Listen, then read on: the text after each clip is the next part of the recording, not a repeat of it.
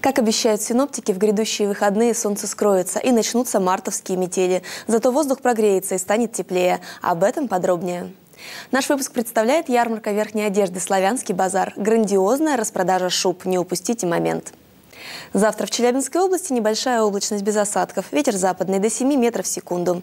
О температуре в городах. Холоднее всего на юге области. В Магнитогорске 13 градусов. Совсем рядом в Карталах уже минус 9. Такая же температура в Златоусте и Южноуральске. В Верхнем Уфалее и Садке 10 ниже 0, а в Троицке 8 градусов. К выходным антициклон окончательно покинет Южный Урал. Его место займет активный циклон. Небо затянут плотные облака, ветер усилится и пойдет снег. А температура воздуха начнет повышаться.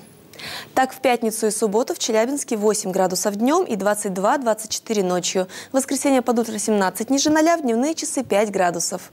Данные от центра ФОБОС. Вам удачи и до встречи!